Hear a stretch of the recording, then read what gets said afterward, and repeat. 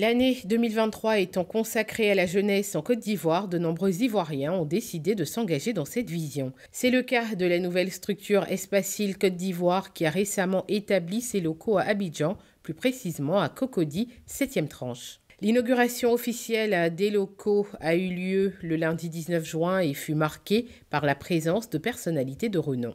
La structure est active dans plusieurs secteurs, notamment le bâtiment, les travaux publics, la vente de voitures et de motos, le matériel informatique, ainsi que les fournitures et équipements de bureaux. Aujourd'hui est un grand jour pour Espacil et nous nous en réjouissons avec vous. Espacil, s'alignant toujours sur les priorités du gouvernement, s'est également doté de moyens pour offrir également des emplois à la jeunesse proportionnellement à l'extension de ses activités. L'année 2003, c'est l'année de l'emploi des jeunes. Une visite guidée a permis aux invités de découvrir les installations de la structure et les produits et services offerts.